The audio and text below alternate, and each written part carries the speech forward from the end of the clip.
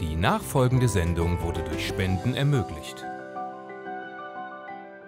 Nicht aufgeben, auch wenn mal die Hütte schüttelt. Auch wenn mal du sagst, das kann es nicht sein.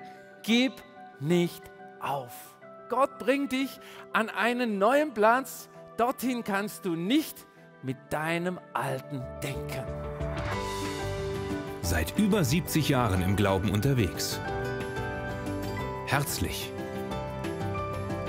Persönlich. Ermutigend. Das überkonfessionelle Missionswerk Karlsruhe. Voller Freude am Leben.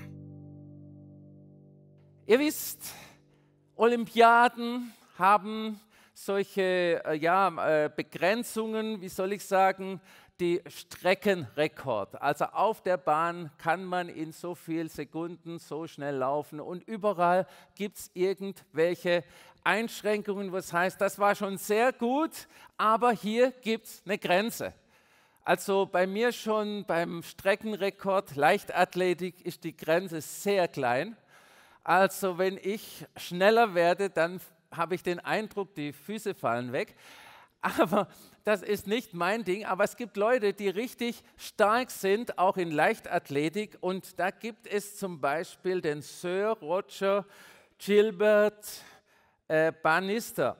Und da steht in Wikipedia, und das war sehr interessant, er hat viele Mittelstrecken äh, gerannt und hat auch äh, viele Preise gewonnen. Er hat mal einen Bronze Medaille bekommen, er hat mal den vierten Platz bekommen und er war schlichtweg immer gut, aber er war nicht der Beste.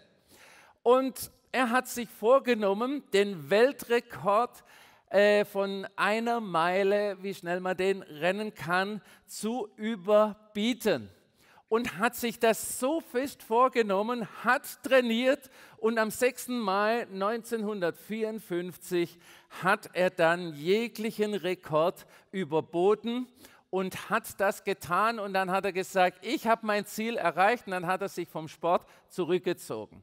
Was, mich, was mir das zeigt, ist, wir müssen uns entscheiden, was wir wollen. Nicht, Herr, wie schön, ja, wenn du nur das reichhaltige Programm wie in der Cafeteria. Will ich jetzt Fisch oder will ich jetzt Fleisch? Will ich ihn warm? Will ich ihn kalt? Will ich Medium oder well done oder was auch immer? Nein, ich will das so. Und das will ich erreichen. Und ihr Lieben, ich glaube, da müssen wir auch hinkommen, wie wir auch hier dieses ganze Zentrum ist eigentlich nicht entstanden, weil mein Vater gesagt hat, wir bauen ein Zentrum und dann die äh, Architekten bestellt hat und ihnen gesagt hat, Leute, wir bauen ein Zentrum. Da waren ganz klar, er hatte die Vision von, von einer äh, Kirche mit 2000 Leuten, hatte er mit, wo noch 35 Leute bei uns im Gottesdienst waren. Und hatte gesagt, es wird geschehen. Und es hat ihm außer der Familie kaum einer geglaubt. Und es sitzt mittendrin in diesem, in diesem, was geschehen ist. Aber wie viel auf der Strecke war so Entmutigung? Leute, die entmutigt haben, Leute, die äh, Gegenpropaganda gemacht haben. Und ich sage dir, entscheide dich für das, was du erreichen möchtest und deine Berufung ist und bleibe dran, sie wird geschehen.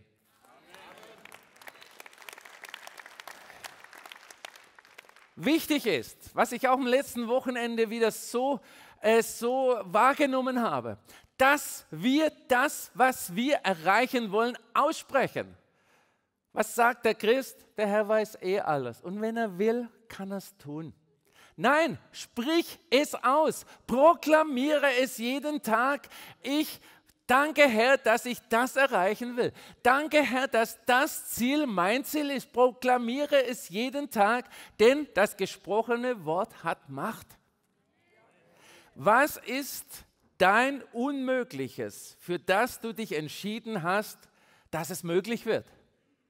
Und ich bin überzeugt, wenn ich durch die Reihen gehen würde, dann würde kommen, äh, äh, ja, oh, äh, habe hab ich, ja, vieles, Oh, da könnte ich eine ganze Liste machen. Ja, sag eins. Hm, ha. Und ich glaube, dass wir heute uns entscheiden müssen, dass wir uns entscheiden für ein Ziel. Sonst ist langweilig. Sonst ist langweilig. Ihr Lieben, das, das fängt im Sandkasten an, wenn du deine Eimerchen, deine Förmchen hast, nämlich jetzt das Gelbe, das Rote oder das, ach, ich weiß nicht. Es wird nichts, wenn du dich nicht entscheidest. Gott hat sich schon lange entschieden, aber du musst dich auch entscheiden.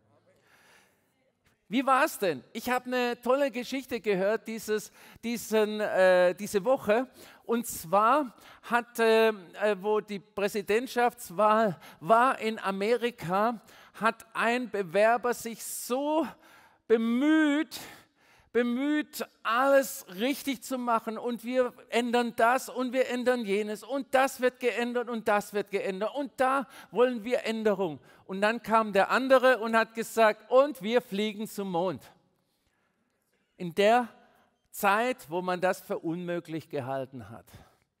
Der hat das gewonnen, obwohl wahrscheinlich die anderen das bessere Programm hatten, weil die wollten wirklich im Detail das auseinandernehmen. Und ich sage dir, du brauchst auch für dein Leben so einen Mondflug. Nicht da hoch zum Mond und sagen, nee, Astronaut will ich nicht werden. Nein, du brauchst so ein Ziel, wo du sagst, nur mit meinem Gott wird das möglich werden. Nur mit meinem Gott wird es möglich werden. Für Menschen gab es immer wieder Grenzen und es wurde bewiesen, diese Grenzen kann man überschreiten. Und ich war auch so einer, oder ja, bin ich eigentlich heute noch, geht nicht, gibt's nicht. So, und wenn irgendwo was war, auch während dieser Bauzeit von diesem Haus, ich war immer dran, das ist zwar unmöglich, aber es muss eine Lösung geben. Aber was ich dir sagen möchte, bleibe dran. Hab ein Ziel vor Augen, das du erreichen möchtest. Wir hier haben das Ziel, dass die Gegenwart Gottes so da ist, dass Zeichen und Wunder kein Problem sind. Zeichen und Wunder kein Problem sind.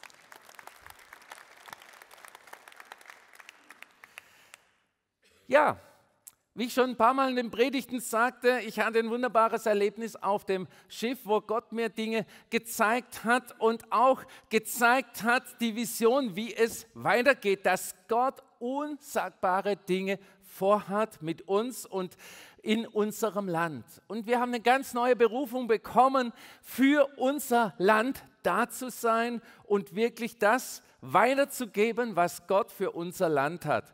Und das ist wunderbar. In Josua 3, Vers 1 heißt es, jedes Gebiet, in das ihr vordringt, gehört euch. Jedes Gebiet, in das ihr vordringt, gehört euch nicht der Garten von deinem Nachbarn. Ich meine es geistig. Jedes Gebiet.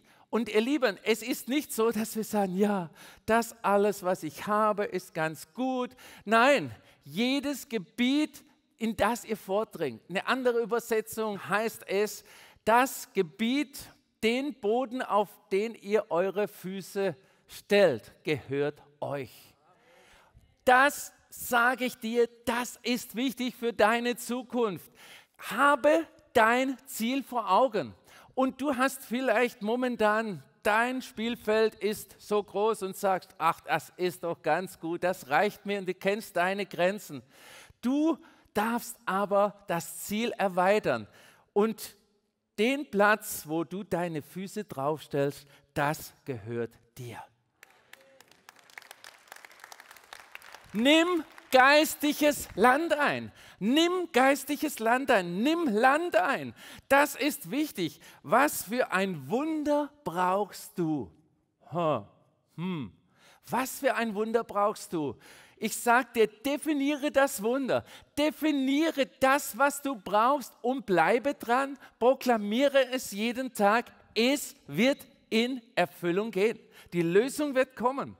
Deine Grenzen, unsere Grenzen ist der Verstand.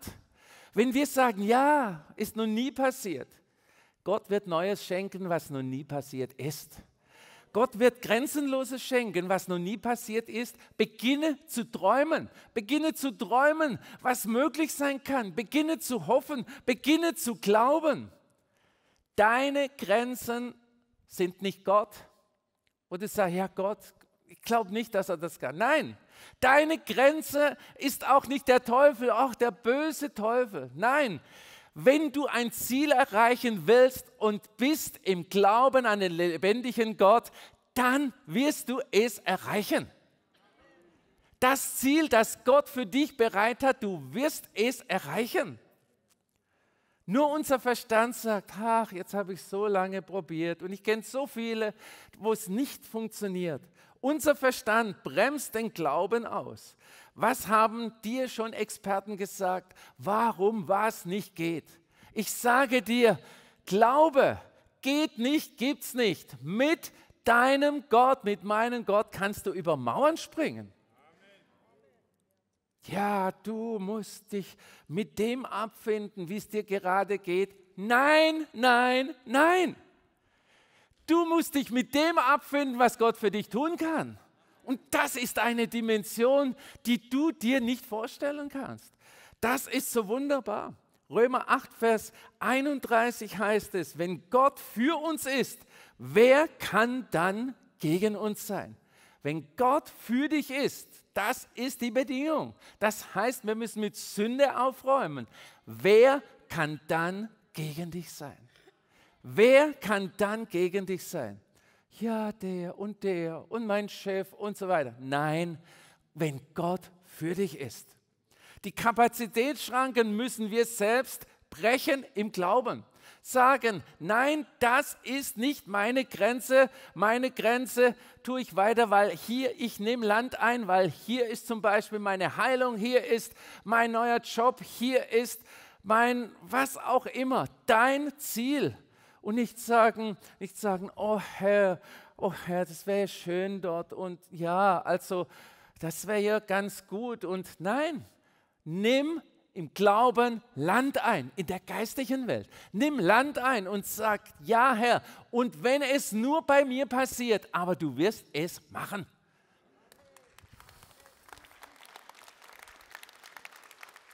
Setze neue Standards für deine Familie. Setze neue Standards für deinen Glauben. Setze neue Standards für dein Leben. Es gibt so vieles, was uns niederdrückt. Es gibt so vieles, was uns schockiert. Aber geh durch dieses Tal, aber komm wieder raus. Bleib nicht im Tal und grabe nach, wisst ihr, wie die, die, die, die, die Schweine graben doch nach den, den ähm, Trüffeln, ja.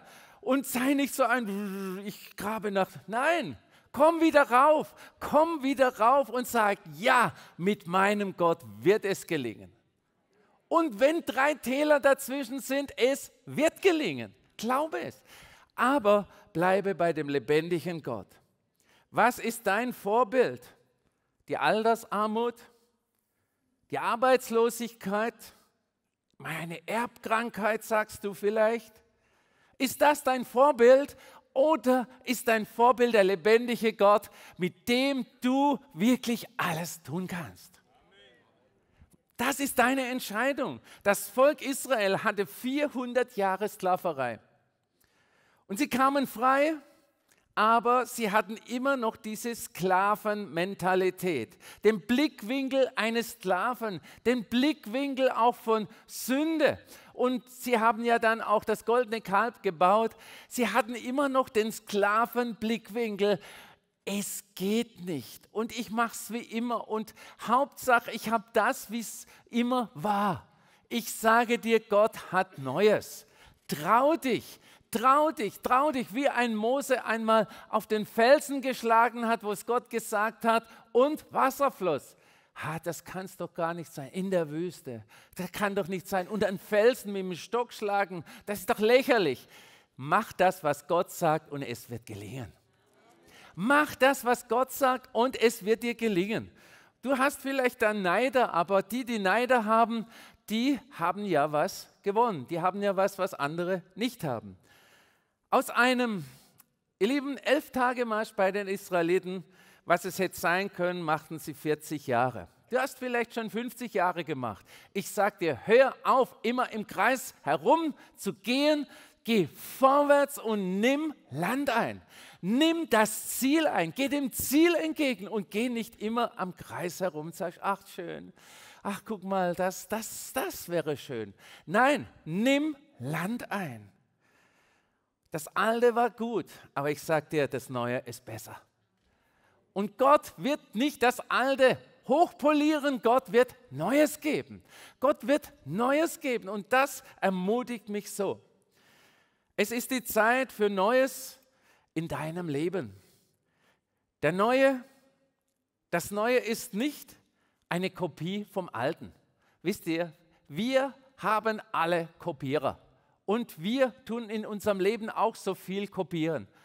Ach ja, das hat der erlebt, will ich auch. Das, Ding, das ist ja zunächst mal nicht schlecht. Aber das, was Gott schenkt, ist neu. Ist was Neues. Und ich habe in meinem Leben gelernt, heute ist es sehr schwierig, äh, eine Kopie vom Original zu unterscheiden. Gott möchte nicht sagen, was ich dem anderen gegeben habe, gebe ich dir auch. Nein, ich gebe dir was Neues. Was wo zu dir passt, was auf dich angepasst ist. Ich gebe dir das Neue. Möchtest du was Neues? Verpasse nicht das Großartige von deinem Gott. Er möchte dir Großartiges geben. In Jesaja 61, Vers 7 heißt es: Ihr sollt doppelt so viel zurückerhalten, wie der Feind euch weggenommen hat, als sie solche Schande über, als sie solche Schande über euch brachten. Anstatt euch weiter zu schämen, dürft ihr euch für immer freuen über euer Erbe in Kanaan. Wir dürfen uns freuen. Ihr Lieben, die Schande ist von uns genommen. Die Schande ist genommen, wenn Gott uns vergeben hat. Und der Feind möchte dir immer wieder Schamgedanken, ja, das kannst du doch nicht und du bist doch sowas von schlecht. Nein, ich sag dir, es ist von dir genommen, wenn du mit Gott aufgeräumt hast. Wenn du dein Denken veränderst, wird Gott dein Leben verändern. Wir müssen unser Denken verändern. Ihr Lieben, es ist nicht das positive Denken, sondern das Denken, dass Gott grenzenlos ist. Dass wir nicht das alles so einengen. Gott sieht deine Herzenshaltung. Gott sieht, wie du mit umgehst. Wir können mit dem Mund sagen, groß und herrlich und grenzenlos, wenn aber das Grenzenlose hier drin nicht ist, wird es nicht funktionieren. Das Grenzenlose sollte in deinem Herz funktionieren. Möchtest du dein Denken verändern? Deine eigenen Grenzen? Manche Menschen haben eine mir reicht, was ich habe. Och, wie viel habe ich da schon gehört? Mir reicht's, was ich habe. Ich bin zu froh, wenn ich jeden Tag aufwache und alles. Ihr Lieben, das ist eine demütige Haltung, aber es gibt nicht nur Geld, sondern es gibt auch der geistliche Bereich und da möchte ich viel, viel, viel mehr haben. Da gibt es so viel mehr. Du auch? In Jesaja 54, Vers 2 heißt es: Vergrößere dein Zelt, spann die Zelt Decken weiter aus, spare nicht, verlängere die Seile und schlag die Pflöcke fest ein. Also verlängere, verlängere die Seile, verlängere die Seile. Und ich laufe jetzt nicht weiter, sonst bin ich aus dem Bild. Verlängere, vergrößere dein Gebiet, dein geistliches Gebiet, damit der Herr dir mehr geben kann. Wie war es denn bei der Witwe wo Elia war, da kam das Öl und äh, hat geheißen, bring Krüge. Sie hat viele Krüge gebracht, auch von den Nachbarn. Aber was war, wo alle voll waren? Dann hörte es auf. Und ich glaube, so mancher unter uns, der hat so einen engen Raum, der hat so einen engen Raum, dass wenn Gott, dass wenn Gott dir was geben möchte, läuft es immer drüben raus. Und ach ja, ich bin so eingeengt und Herr, Herr, ich bin ja demütig, aber ich sagte, der Herr sagt, nimm Land ein. Mach deinen Bereich größer. Mach ihn größer. Und das darfst du tun. Ist das nicht wunderbar?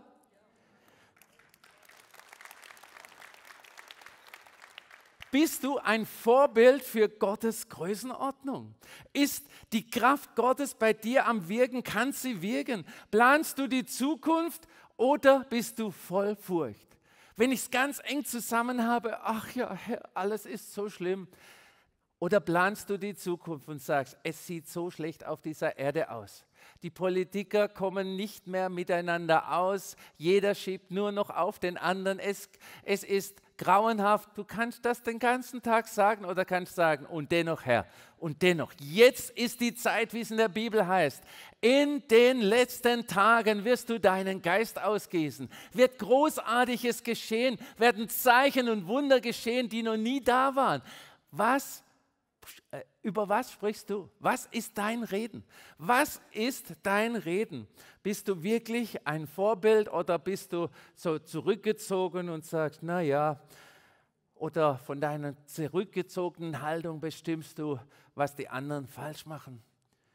Wenn Gott ein Wort spricht, ist die Kraft drin, es umzusetzen. Wenn Gott spricht, er hat ges nur gesprochen, es werde Licht ja, wir hatten so viel Licht diesen Sommer, dass wir, dass wir richtig heiß hatten. Es war so ein genialer Sommer, weil Gott gesprochen hat, es werde Licht.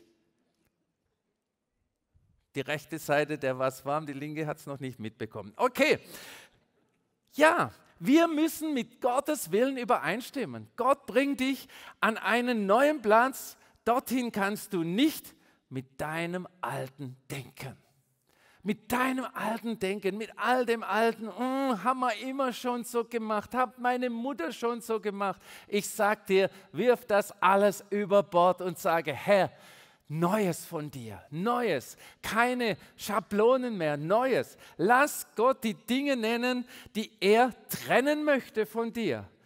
Auf der anderen Seite ist etwas Neues. Manche Trennung tut immer weh von irgendwie etwas. Trennung tut immer weh. Aber oftmals muss es sein, dass Neues entstehen kann. Und ihr Lieben, und das ist, da wollen wir auch uns gegenseitig stärken. Wenn es dann weh tut, dass wir sagen, und das musste halt sein, dass Neues entstehen kann. Und ich sage dir, es wird Neues entstehen bei dir. Aber das eine oder andere musst du vielleicht von Gott abtrennen lassen. Gott ist dabei, etwas Neues zu tun. Lass dich an einen Platz der größeren Freiheit führen. Das möchte Gott. Lass ihn die Dinge in deinem Leben benennen, die Klarheit bringen. Wisst ihr nicht, nicht die Vernunft, sondern die Klarheit Gottes. Nicht aufgeben nicht aufgeben, auch wenn mal die Hütte schüttelt. Auch wenn mal du sagst, das kann es nicht sein. Gib nicht auf. Gib nicht auf. Und ich sage dir, das ist was, was uns auch gesagt wurde in, in, äh, vor einer Woche. Wir brauchen wirklich ein grenzenloses Vertrauen und ein bedingungsloses Vertrauen in den lebendigen Gott. Wenn wir mit Gott anfangen, ja, wenn, dann und so weiter. Und so wie man programmiert, wenn, dann, if, else, die, die Englisch können. Und das Ganze vor und zurück, wenn das nicht, dann das. Und wenn mein Schwager nicht, dann das. Und wenn ich den Garten nicht bekomme, dann kann ich das Haus nicht. Und wenn, dann, wenn, dann, wenn, dann. Bei Gott gibt es kein wenn, dann, sondern gibt es ein Ziel. Erreiche das Ziel. Erreiche das Ziel. Auf jedem Ort, wo du deine Füße stellst, das soll dein Land sein. Das soll dein Land sein. Möchtest du neues Land? Amen.